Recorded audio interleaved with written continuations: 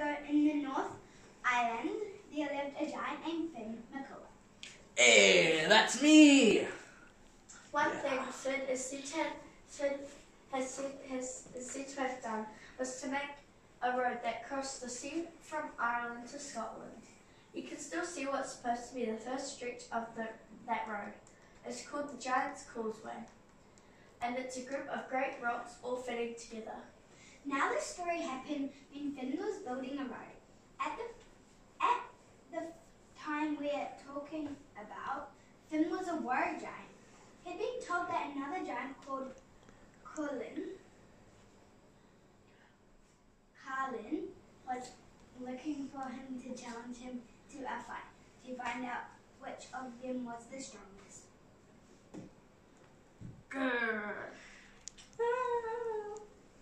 This Cahalan was said to have beaten every giant in Ireland except Finn, and the thought of meeting him face to face made Finn shake in his boots. Oh, that's scary at least. Well, when Finn had been working away from home a good many months, he took it into his head to go home and see his wife, a fine woman named named Una. Was two countries away, but sure that wasn't far for a man like Finn. He pulled up a fir tree by its roots, a full-grown tree, mind you, and stripped off the branches to make himself a walking stick. Then he set off, and in no time at all he reached his own mountain and the house that the house that he'd built on it. There, and there was Una to greet him. Hey, Una, my love! And Finn, I'm glad I'm to see you. I hope you're a bit hungry, for I have fixed a little something when I saw you coming.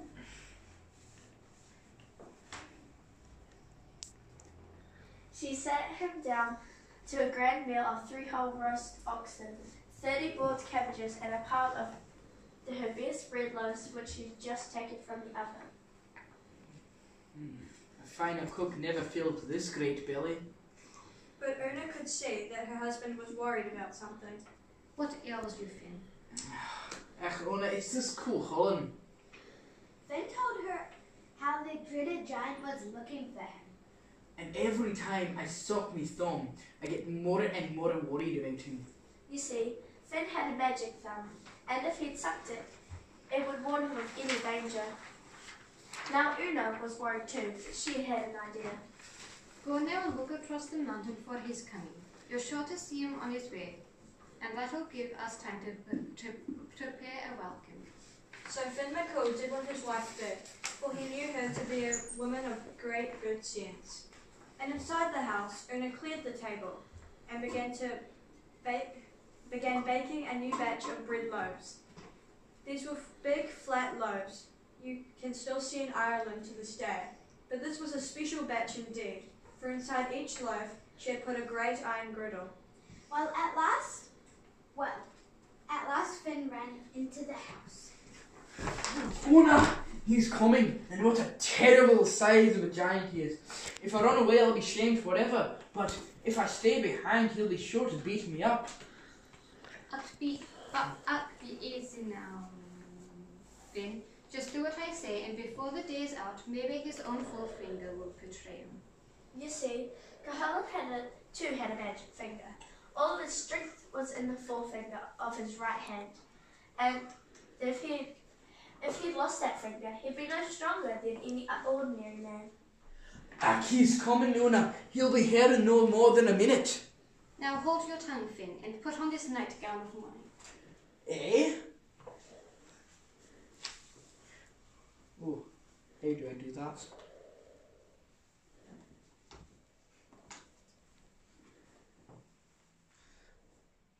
This is woman's clothes and I don't know me lines. Woman, what do you think you're doing? Tr- trust me now, Finn. Oh, So, grumbling away, Finn put on his wife's nightgown. no. Una put her white bonnet on his head, then pushed him toward a cradle in the corner.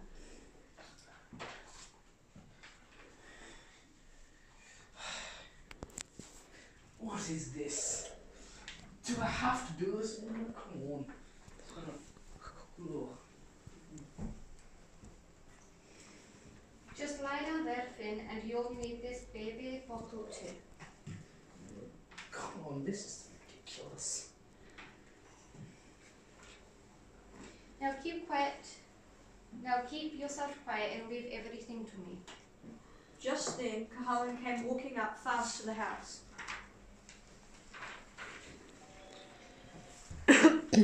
Good day to you. That best not be my mother. Come in then and welcome. Twill grieve my husband to know that you called when he wasn't here to greet. She's here. Well, now that's very civil of you, woman. But it grieves me even more to, to learn he's not at home. Because I was told I'd find him here.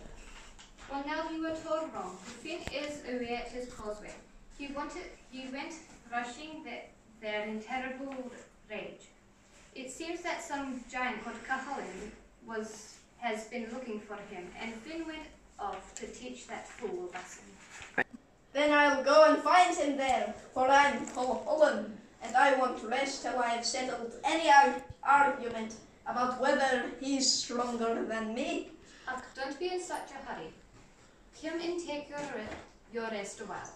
You'll need it if it's Finn you're going to fight, for he's twice your size and ten tri- times stronger looking. Finn, Finn nearly fell out of the cradle with, with fright.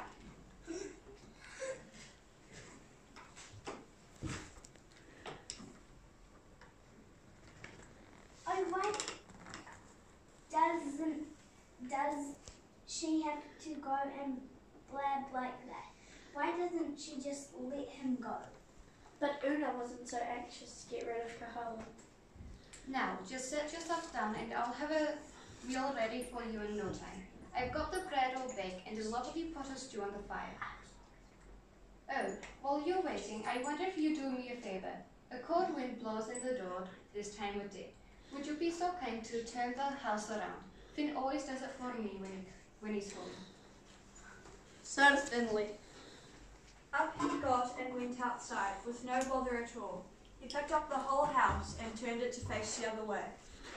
Una was a bit surprised, because Finn himself couldn't have done it. She just made that up to frighten Cuhullin, but she didn't let on when he came back in. Thank you kindly. There's just one other thing. I'm hoping you won't mind me asking. Ask on, good woman.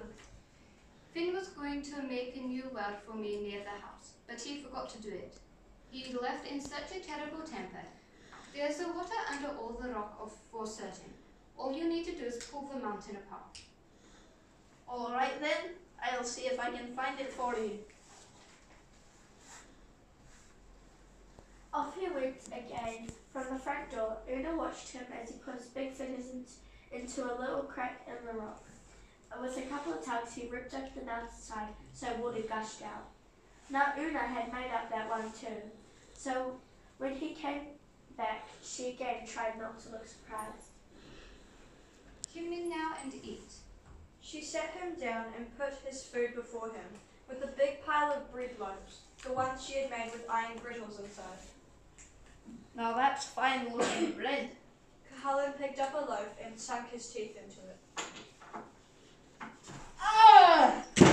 A thousand thunderbolts! Woman, what did you put in your bread? Nothing. What ails your torment? That that's the bread, bread my husband eats six dozen loaves of a day. You mean he eats this stuff? Sure, it is hard as rock, and I've lost one of my good front teeth on the first mouthful. Didn't I say you're a poor weak thing compared to Finn? Ach, you'll regret, gre- regret the day he finds your, his hands on you. Nonsense, if he can eat this bread, so can I. He picked up another loaf and dug his teeth into it. Ah! I've lost my other teeth. Man, man, it's a good job you never met up with Finn. It's more than your own front teeth you'd have lost. You're tricking me? I don't believe any man eats bread like that. Oh, don't you just now. Just wait till, till you'll see this. She took one of the loaves off the table and walked over to the cradle where Finn was lying just like a baby. This is Finn's son. Isn't he quite a little lad? Just like his daddy. Cuckoo, cuckoo. Here you are, me dove. Have a bit of bread. Now, this loaf looked like all the rest, but Una knew it was only it was the only one without an iron griddle. She gave Finn a wink. Then Finn took a bite out of the loaf that took half the side of it.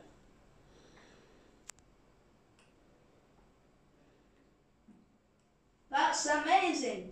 And you tell me this is Finn McCool's child? None, o- none other. So you can guess what size of a man his daddy is. He must have a powerful set of teeth. Now this was just what Una was hoping for. Oh, a grand set. Just slip your finger in there to feel them. Open your mouth now, baby, and let nice man put his big, strong finger. So Cahalan slipped his great right forefinger into Finn's mouth.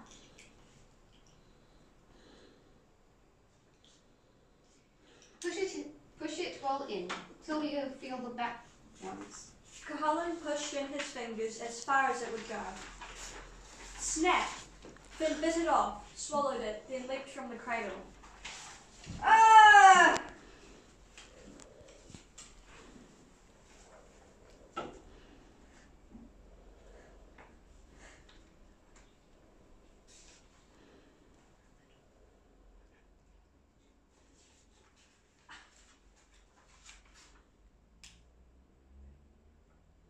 Now, what did you say you'd do to Finn McCool? Cahalan made a great swipe at, at Finn with his fist. Ah, jeez, you'd better run. But he lost his finger and all of his strength with it, so all he did was hurt his hand. Ah! Now, Finn, don't be too hard on this poor thing. Finn chased Cahalan halfway across Ireland before he let him go.